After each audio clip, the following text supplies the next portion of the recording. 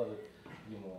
Заседание депутатской комиссии по бюджету и вопросам экономического развития прошло в Магаданской городской думе. На повестке стояло 9 вопросов. Один из них – о внесении изменений в бюджет города на 2021 и плановый период 2022-2023 годов. Принимаются изменения в программе «Столица». Допустить их или нет решает депутатская комиссия. В связи с этим у мэрии Магадана возникают технологические трудности. Это может привести к нарушению сроков закупочных процедур, а отметил глава областного центра Колымы.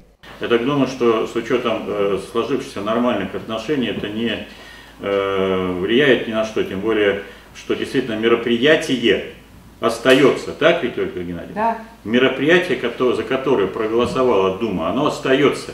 Какая разница, кто будет делать, образование или физкультура, или департамент САТЭК? Это не играет роли. Вам главное, чтобы поставили площадку или э, заасфальтировали двор.